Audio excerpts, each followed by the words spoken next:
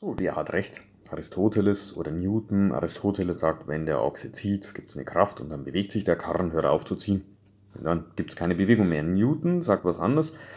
Wenn eine Kraft auf die Rakete wirkt, dann wird sie schneller. Interessant ist fast, wenn keine Kraft wirkt, gibt es nämlich zwei Fälle. Also keine Kraft und die Rakete ruht, dann bleibt sie in Ruhe, dann bleibt sie, wo sie ist. Keine Kraft, logisch. Und B, wenn die sich schon bewegt hat und es wird keine Kraft, wird sie sich geradlinig mit konstanter Geschwindigkeit immer weiter bewegen. Das heißt, der Newton geht davon aus, machen wir jetzt mal weg, so, ähm, Texte brauchen wir auch nicht mehr. Also, wenn die, wenn die sich schon bewegt und ich möchte, dass sie langsamer wird, brauche ich wieder eine Kraft, so eine Bremsrakete, die nach vorne geht. Und dann wird sie langsamer. Oder wenn ich so eine kleine Seitenrakete habe, dann wird sie auch eine Kurve machen.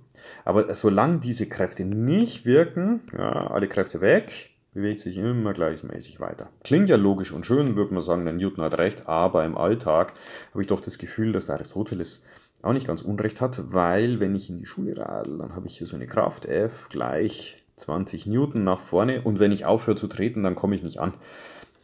Also diese Rakete, die da immer weiterfliegt, das äh, erlebe ich im Alltag nicht. Was Aristoteles nicht rein gedacht hat, war die Reibung und die geht nach hinten.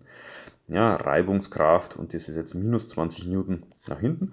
Äh, die heben sich auf, das heißt plus 20, minus 20, das ist im Endeffekt 0 Newton. Und zwar immer, also ich habe keine Kraft, wenn ich mit konstanter Geschwindigkeit fahre.